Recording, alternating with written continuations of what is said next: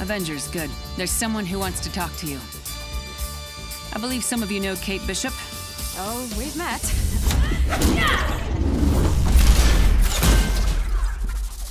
Are you working for S.H.I.E.L.D. now? It's, uh, complicated. Where's Clint? That's complicated too. Clint and I were looking into what happened to Director Fury after A-Day. We stumbled on this Tachyon project, and then Clint was gone too. That? Our guest finally agreed to help. Remember what's riding on this. Easy, Doc. Deal's a deal. I'll do my part. Clint?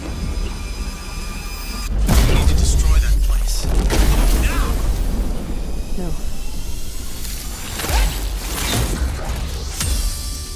Okay, how's this?